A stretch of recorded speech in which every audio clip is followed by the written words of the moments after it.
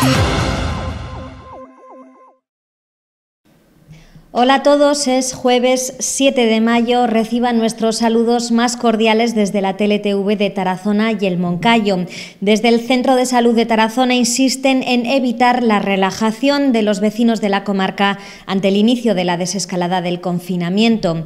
Ayer incidimos en la importancia de llevar puestas mascarillas, aunque no sean obligatorias, ya que aumentan las posibilidades de evitar el contagio pues, del COVID-19. Hoy nos centramos en las distancias de seguridad que hay que mantener. Son dos metros cuando nos paramos a hablar con alguien y dos metros también cuando paseamos con alguna persona conviviente. Hay que dejar entre cuatro y cinco metros de distancia con las personas que nos preceden en los paseos, una distancia que aumenta hasta 10 metros en el caso de ir corriendo y a 20 metros si se circula en bicicleta. Los sanitarios turiasonenses recuerdan que hay que seguir siendo cautos, ya que el coronavirus sigue presente entre todos nosotros.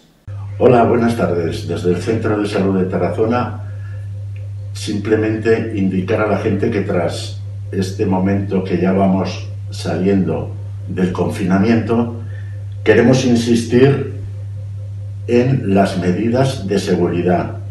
Tenemos que recordar que este bicho, este virus, este coronavirus, es muy, muy, muy contagioso. Llevamos más de 26.000 muertos en España vamos a tener la sangre fría dentro de la euforia y la alegría que da el salir y ver amigos y ver a gente, ver familiares, para guardar las distancias mínimas de seguridad, bien sea los que caminan, los que corren, los que van en bici. Llevar las mascarillas, aunque nos haga así con las orejas, la higiene personal, por favor, la cabeza fría, y el corazón muy alegre por poder salir a ver a todo el mundo. ¿Vale? Esto lo vencemos entre todos, con dos narices. Buenas tardes.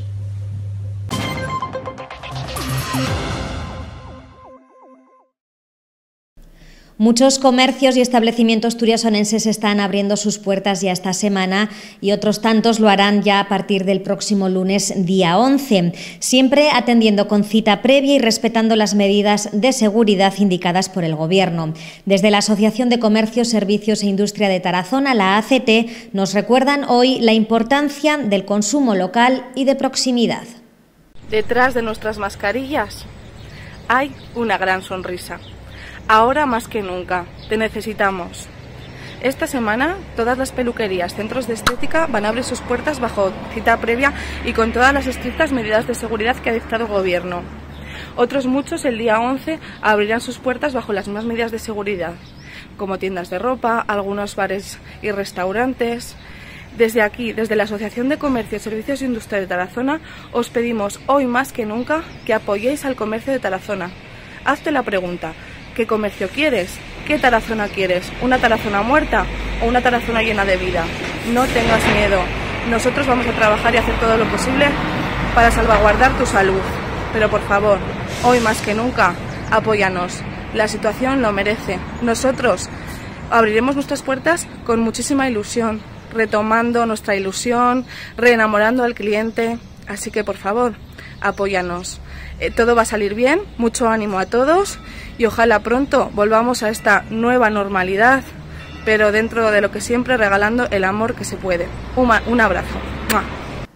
Decir además que la ACT ha pasado a Cámara de Comercio de Zaragoza una serie de propuestas de los socios turiasonenses en respuesta a la demanda de ideas por parte de este organismo. Los establecimientos de la ciudad han pedido sobre todo protocolos de actuación en diferentes sectores como joyería, puericultura, moda, fotografía o calzado. También preguntan por el aforo permitido en las tiendas según los metros cuadrados, tienen dudas acerca de los horarios permitidos, la efectividad de las máquinas de ozono o cuándo los diferentes gremios podrán desarrollar labores en el interior de las viviendas.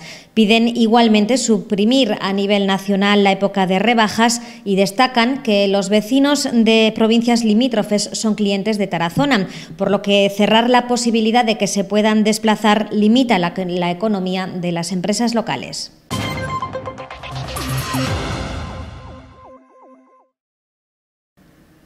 A partir del lunes 11 de mayo se permitirá la asistencia a lugares de culto bajo determinadas circunstancias y siempre y cuando se avance hasta la fase 1 de la desescalada.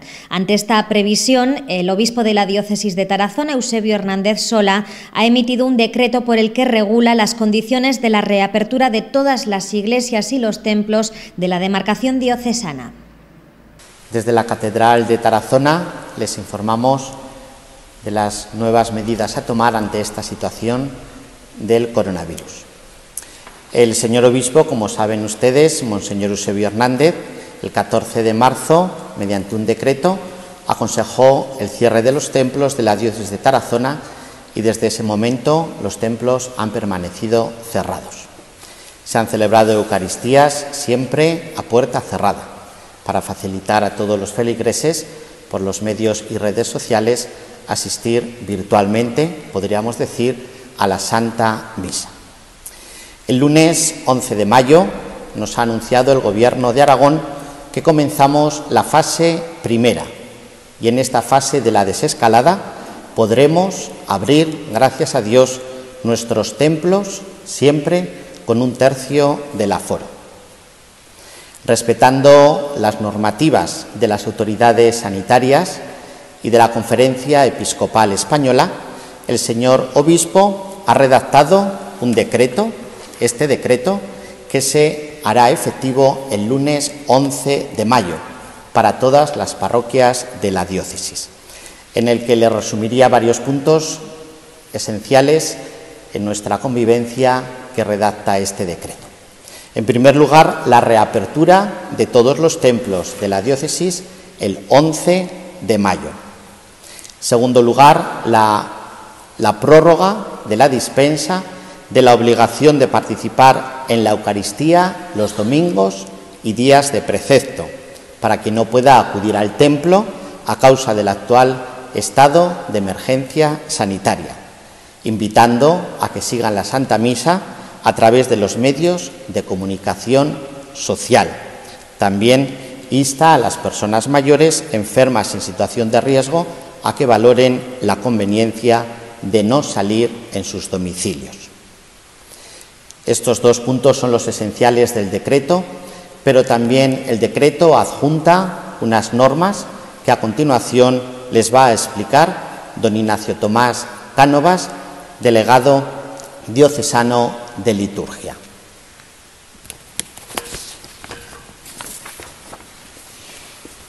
Bien, como se ha dicho, adjunto a este decreto que se nos ha presentado, el señor obispo también ha escrito unas medidas de prevención para la diócesis de Tarazona, para esta primera fase de la, eh, de la desescalada, que va del 11 al 25 de mayo.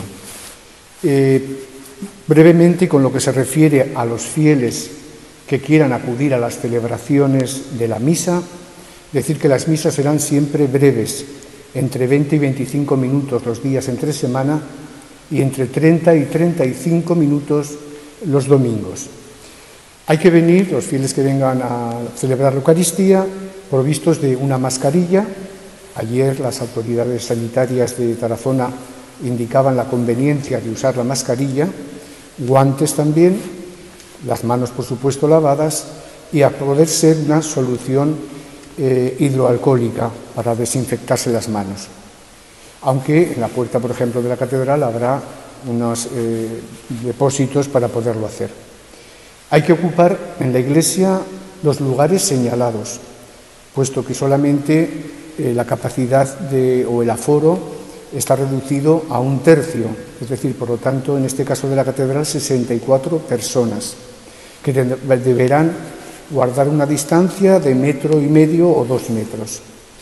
Durante toda la celebración se debe mantener la mascarilla, procurar no tocar objetos ni tocarse a sí mismo, no hablar unos con otros, ni antes de la misa, ni durante la misa, por supuesto, y tampoco después de la misa. No moverse por el templo una vez ocupado el sitio señalado.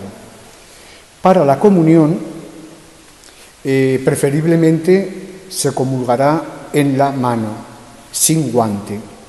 Habiéndose desinfectado antes las manos, eh, para recibir el cuerpo de Cristo. También en la fila de la comunión habrá que guardar las distancias convenientes entre metro y medio y dos metros, saliendo ordenadamente de los bancos al pasillo central. Eh, y para la salida de la iglesia, pues también lo mismo, salir ordenadamente, salir distanciadamente y sin hablar, tanto dentro de la iglesia, entre unos y otros, ni en las afueras también se indica que se aconseje que no se hagan tertulias, digámoslo así. Y con respecto a otros aspectos de la celebración de la Eucaristía, no se va a cantar, puesto que al cantar se emite con la saliva, se puede emitir el virus. Eh, la comunión, el sacerdote cuando vaya a dar la comunión dirá al principio el cuerpo de Cristo y todos aquellos que vayan a comulgar responderán amén y después no se dirá nada. Se levantará o descenderá la mascarilla para, para comulgar el mismo habiendo recibido la comunión en la mano. Y pues preferiblemente también se aconseja que los fieles no participen en las lecturas pues para que eh, haya el menor movimiento posible dentro de las iglesias. Finalmente, con lo que respecta también a los fieles, se da la posibilidad de las confesiones. El, eh, el, confesionario se hará por un lateral, por la rejilla, que estará protegido con un plástico duro que es fácil de desinfectar después de cada confesión. Y por supuesto, pues en el caso de la catedral, como en otras iglesias, se desinfectará en este fin de semana para facilitar la entrada de todos y también después de cada celebración. Por eso es tan importante que cada uno ocupe el lugar señalado.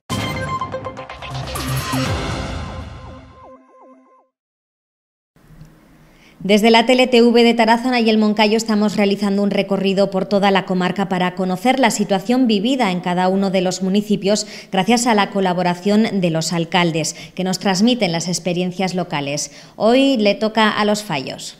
Quiero empezar comentando que no tenemos ningún caso de COVID-19 en el pueblo y espero que la tendencia eh, siga así. Eh, hay que destacar que las medidas de confinamiento han sido asumidas por parte de la población sin problema. Al inicio, yo creo que como en todos los sitios, bueno, fue complicado asumir la situación y ver la gravedad, pero desde entonces, bueno, eh, no tenemos ningún problema. Hay que tener en cuenta que la inmensa mayoría de, de la población, de los vecinos de los fallos, es gente anciana y es de agradecer que hayan tomado conciencia de que deben proteger su salud y que deben permanecer en, sus casas. Y la salud pues es lo principal. Desde el consistorio también quiero agradecer eh, la colaboración de todos los vecinos en el cumplimiento eh, de las medidas dictadas por el Gobierno central y el Gobierno de Aragón, por supuesto. Además, eh, el Ayuntamiento tomó una decisión que está teniendo una gran aceptación por parte de los vecinos se optó por crear un servicio de comida, un servicio gratuito de comida a domicilio, comida diaria, que estamos sirviendo a los vecinos eh, mayores de 65 años, eh, las personas solas y eh, personas que tengan alguna problema de discapacidad parcial o total. Y es un servicio que se hace pues, para la gente de esta tipología que estén empadronados. Y es un, un servicio que luego se cumplimentó con un, eh, de forma quincenal entregamos un pack de desayuno pues que consistente en, unas em, cajas de leche con colacao, café y galletas. Eso nos permite eh, tener la, eh, saber que la gente está tranquila, la gente mayor que antes salía de forma habitual a comprar, por ejemplo, venían con el autobús cada semana y iban a Tarazona a comprar, pues les da mucha tranquilidad saber que, bueno, pues que lo básico lo tienen, lo tienen resuelto. Además, también tenemos un servicio de compra a domicilio. Eh, dos personas que se dedican, eh, nos hacen los pedidos, eh, llaman por teléfono, le dejan en la entrada de la casa lo que es la lista, el dinero con la bolsa, nosotros se recoge, la persona lo recoge y, se le hace la compra y luego se le entrega. y todo esto se puede hacer y se puede llevar a cabo porque se ha formado un grupo de voluntarios, el cual hemos dividido en dos, porque hay gente que entre semana eh, hay una persona que trabaja, entonces eh, partimos lo que es la semana en dos bloques. En un bloque se hace el reparto por parte de unos voluntarios y eh, lo que es el fin de semana es otra, gente. Y la verdad es que se agradece, porque es muy, esta experiencia, la, la, verdad es que se, se, aprende y es muy bonita porque tenemos gente joven, que tenemos que agradecer a la gente joven que haya querido colaborar, además lo hace con, con mucha voluntad con corazón, y gente menos joven. Se añade un grupo de voluntarios que desde sus casas, desde el confinamiento, están haciendo batas para eh, las residencias de ancianos eh, con bolsas de plástico que les suministra el, ayuntamiento. Entonces eh, compramos en una ferretería de Tarazona y luego pues hacemos la entrega a los domicilios, hacen las batas, luego esas batas se agrupan, se desinfectan una por una y se hacen paquetes y se entregan según las necesidades de cada residencia de, de ancianos. Se realizan labores de desinfección de todo las, lo que es el municipio, de todas las vías públicas, de forma regular, todas las semanas. Y aquí quiero agradecer de todo corazón eh, a una persona, una persona de Vera, que es Fernando, que todas las semanas viene aquí con su tractor y una sulfatadora que tiene de grandes dimensiones. Se ofreció él eh, hacerlo eh, porque nosotros aquí en el pueblo no tenemos maquinaria solamente tenemos sulfatadoras pequeñas, entonces cuando él viene, el aguacil eh, va a las calles pequeñas donde no entra la máquina y eh, está, eh, el, tractor hace las vías ya más grandes donde puede, donde puede caber. Y la verdad es que esta, solidaridad, la verdad es que se agradece mucho pues porque fue sin pedirlo, lo mismo que la primera desinfección que se hizo. se hizo por parte de Sabino, de la empresa de Tarazona, que la verdad es que a nosotros nos llegó al corazón y bueno, pues eso al final, en este tipo de situación, nos damos cuenta de, bueno, de cuando eh, la gente está y, y, bueno, pues por parte de un ayuntamiento como este tan pequeño se agradece. Eh, luego también de forma regular, eh, el empleo municipal hace una desinfección según protocolo y con productos específicos de lo que son las oficinas municipales y lo que son el consultorio médico. De nuevo, eh, no, me, no, me, cansaré nunca de agradecer a todos los voluntarios del pueblo de los Fallos que están día a día eh, colaborando eh, para que esta situación sea lo más llevadero posible para todos los vecinos y permiten que este trance vital se haga más llevadero.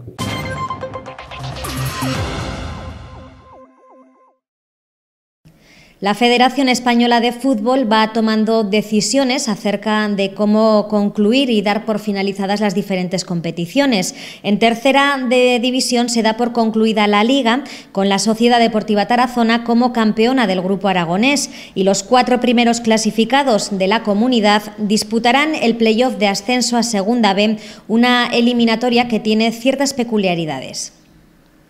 Bueno, pues así es, Nora. Eh, y hay que volver a decir que la Sociedad Deportiva Tarazona se convierte en campeona de liga por segunda vez en su historia. Y para hablar de todo ello y para hablar de este Playoff Express tenemos a David Navarro al que le doy la bienvenida a la TLTV y los buenos días. Mister, ¿cómo estás? Hola, buenos días. Pues bien, aquí como un león enjaulado, pero bueno, pues intentando ser lo más responsable posible para y esperando que pase todo esto. Decíamos que, bueno, que la Federación Española de Fútbol va tomando decisiones, pero podríamos decir que ya ha tomado una decisión, ¿no? Sí, vamos, yo la daba por hecho porque en el momento en que salió el presidente Rubiales a, dar esto como idea, pues cuando la experiencia te dice que cuando el presidente sale de forma oficial en un comunicado a, a adelantar algo es lo que se va a terminar haciendo.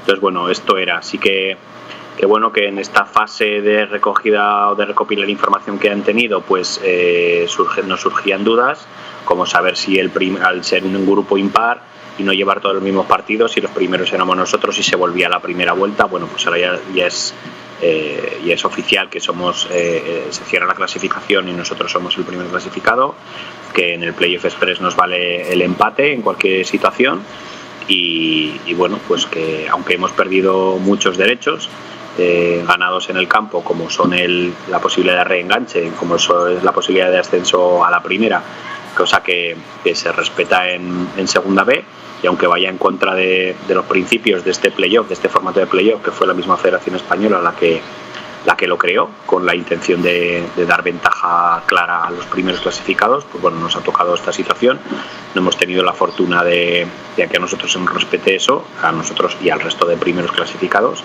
pero las, las normas son las normas y, bueno, pues nosotros seguimos en la línea que llevamos desde el principio de este es el escenario que tenemos, pues trabajar para llegar lo mejor preparados posibles a ese a ese comienzo que por otro lado va a ser muy dificultoso llegar, llegar a él por diferentes circunstancias económicas, médicas, eh, vitales y pero bueno, a día de hoy es el escenario que nos han planteado y estemos de acuerdo no es lo que, lo que nos toca afrontar. Escenario neutral, los campos de la federación en, en Zaragoza y, hablamos del formato para aclarar un poco a los telespectadores lo que sería eh, ese, empate que, daría ventaja a la, Sociedad Deportiva Tarazona. Eh, hay que decir que el primero se enfrenta al cuarto y segundo y tercero entre ellos. Así es. Eh, los ganadores se enfrentan entre ellos y quien gane está en, segunda, en segunda B. ¿Qué ocurriría con un empate, David? En caso de empate no habría ni prórroga ni penaltis. El equipo mejor clasificado en liga sería el que ganaría el partido. A partir de ahora lo que no tenemos son fechas. Eso es. Eh, extraoficialmente se ha puesto como tope la primera semana de agosto, pero claro, eh, no sé, como entrenador pensar que la liga se ha parado el 14 o el 13 de marzo y que, y que en agosto, cuatro meses después, vas a estar jugándote a un partido, pues bueno, es que no le veo mucho sentido, pero al final no deja de ser mi opinión y, como puedo tener voz pero no tengo voto, pues entonces lo único que queda es eh, concentrarnos en, el escenario que, tenemos, no lamentarnos ni en pensar lo injusto de ello o lo justo de ello, sino que es lo que tenemos y, está. Me imagino, pero que no deja de ser importante saber cuánto antes la fecha para poner la máquina a trabajar hacia, ese, hacia esa cita, ¿no? La historia. Ayer preguntaban los jugadores y cuándo vamos a empezar a entrenar, pues claro, pues eh, en principio a final de mayo se puede empezar a entrenar, pero mientras no haya una, unas fechas de juego eh, va a ser difícil. De todas formas, el protocolo eh, que tenemos que cumplir, eh, impuesto por Sanidad y por el Consejo Superior de Deportes, es exactamente el mismo que los de Primera División. El Real Madrid ha expresado la dificultad de poder llevar a cabo este protocolo, pues nosotros, eh, la federación lo que se ha dicho es que es a cargo de los clubes. Entonces, la compra de los test, la realización de los test, un servicio médico para, para poder realizarlo. Eh, la desinfección constante del material, los entrenamientos individuales, que conseguir una instalación donde se pueda entrenar y que, y que te abran. Eh, el protocolo es brutal, entonces la estructura humana es difícil no solamente para el Tarazona, para cualquiera de los equipos que, que no tenemos estructura profesional, que somos de todos, de los, de, todos los equipos, de los 32 equipos que tenemos que jugar. Eh, creo recordar que solamente, si no me dejó nadie, están el Betis B, el Aragón y el Mallorca B como filiales. Entonces ellos evidentemente sí que podrían hacerlo. Pero luego está el tema de la finalización de los contratos eh, en mayo y en junio, los pisos de alquiler, los salarios de dos meses más sin tener los ingresos de playoff. Pues es muy complejo, es muy complejo el poder llegar a disputarse. Pero nosotros, eh, cuerpo técnico y plantilla, nos centramos exclusivamente en que se van a disputar. Que luego no se puede y nos toca la lotería, pues genial. Pero, pero a día de hoy el escenario es el que es y, tenemos que, prepararnos lo mejor posible para afrontarlo. Y al día de hoy, como decíamos al comienzo de, tu entrevista, lo que podemos decir es que por segundo año consecutivo la Sociedad Deportiva Tarazona vuelve a ser campeona de liga. Sí, es algo histórico. Yo creo que hace más de no sé cuántos años, pero ahora cerca de 20 años o 15, años seguro que, o casi 20, que, el último equipo que lo consiguió fue el Fraga, entrenado por Juan Carlos Oliva, que hizo dos años eh, primer clasificado y campeón de liga. Lo que ocurre es que, yo creo que es que celebrar con la que está cayendo, con tantos muertos en España, con es que yo creo que ni te lo pide el cuerpo, ¿no? Eh, sí, que es verdad, pero eh, eh, tampoco estás en el campo para hacerlo. Eh, ha pasado ya dos meses desde el último partido de competición. Es un poco pues como al medallista cuando le dan, porque uno ha habido un caso de doping y dos años después te dan la medalla. Vale, pues bien, pues tengo la medalla en el currículum, está dos años campeón de liga, pero pues ya está, te han quitado, no culpa de nadie, sino de la circunstancia que nos ha tocado vivir, de esta pandemia, pero, pero te ha quitado, pues eso. Habrá gente que dirá nuestros amigos eh, dirán que campeones quedando 11 jornadas, eh, bueno, pues eh, y nosotros diremos que le hemos metido 14 puntos al tercer clasificado en, en 10 jornadas, 7 al Teruel, entonces ya está, al final de, de 29 jornadas eh, no es lo mismo que, que las 42 que había a jugar, pero ya tienen un peso importante. De hecho, si no se hubiera jugado tanto porcentaje de competición, no estaríamos hablando ahora mismo de jugar o no jugar. O sea, se habrían anulado las competiciones y todo el mundo lo veríamos normal. Pero un 70% de competición tiene un peso importante, como en la misma MotoGP, como para que se valore o tenga cierta justicia las posiciones que ocupa cada uno. David, cuídate mucho, eh, estaremos pendientes de esas fechas y estaremos pendientes de toda la información eh, del equipo, de cómo os vais poniendo eh, a trabajar, que no habéis parado de trabajar, que lo sabemos, pero estaremos pendientes de vosotros, ¿vale David? Gracias, espero que estéis todos bien y un saludo a toda la familia de Turiasionense. Un abrazo. Un abrazo.